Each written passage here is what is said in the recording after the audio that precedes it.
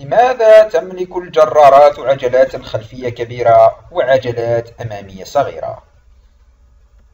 الجرارات هي آلات متينة وقوية يستخدمها الناس من أجل الزراعة وكذلك من أجل جر وسحب الشاحنات الثقيلة والشحنات الثقيلة حيث يملك الجرار محرك ديزل قوي للغاية من أجل تمكينه من جر وسحب شحنات ثقيلة للغاية بسهولة تامة يحول محرك الجرار يحول عزم الدوران القوي إلى قوة جر هائلة ولهذا تجده يسير بسرعة منخفضة نسبيا بينما يسحب خلفه شحنات كبيرة وثقيلة. يكون الجرار ذو الدفع الثنائي مثاليا للأغراض الزراعية والصناعية على حد سواء وهو يملك عجلتين كبيرتين خلفيتين وعجلتين أماميتين صغيرتي الحجم لأسباب وعوامل عديدة ومنطقية سنتعرف عليها في هذا الفيديو لماذا يا ترى تم تجهيز الجرارات بعجلات خلفية عملاقة وأمامية صغيرة جدا؟ تستخدم الجرارات كثيرا في الحقول والمزارع وهناك يساعدها اختلاف الأحجام بين إطاراتها الأمامية والخلفية على الاحتكاك بشكل ملائم مع السطح يستطيع الجرار سحب وجر أثقال كبيرة دون أي عناء وهو الأمر الذي تلعب فيه العجلات دورا محوريا كما تلعب دورا مهما أيضا في تجربة القيادة.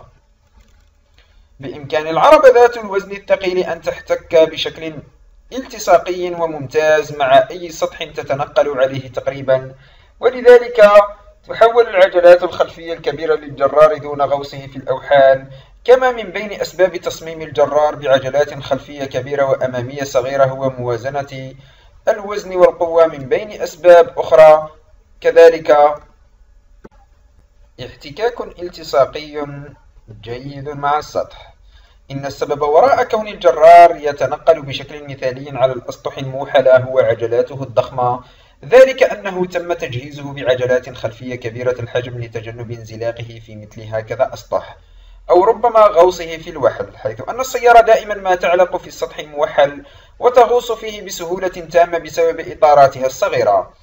كما أن توزيع الوزن والثقل بشكل مثالي على الهيكل يكون أسهل بكثير مع إطارات خلفية ضخمة. إن سحب شحنة ثقيلة وجرها خلف الجرار يسفر عنه ضغط كبير على الإطارات الخلفية. ولذلك يجب على هذه الأخيرة أن تكون كبيرة الحجم من أجل زيادة الاحتكاك الالتصاقي مع السطح وزيادة قوة الجر. تمنح العجلات الأمامية الصغيرة رؤية أفضل أثناء التحرك نحو الأمام. من السهل أكثر رؤية كل شيء عندما لا تعيق مجال رؤيتك عجلات كبيرة الحجم. جعل مقعد السائق في موقع مرتفع نسبيا في الجرار بسبب حجم العجلات الخلفية الكبير حتى لا تعيقه عن الرؤية وفقا للخبراء يجعل وضع مقعد سائق الجرار في موقع مرتفع من الزراعة والحرث أمرا سهلا للغاية حيث يسهل رؤية زوايا الحقل ومنه يصبح من السهل حراثة الأرض أو زراعتها مع رؤية أمامية واضحة.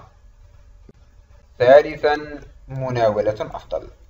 توفر العجلات الأمامية الصغيرة للجرار مناولة أفضل لسائقه حيث يصبح من السهل جدا الالتفاف به في زوايا حادة في الحقول.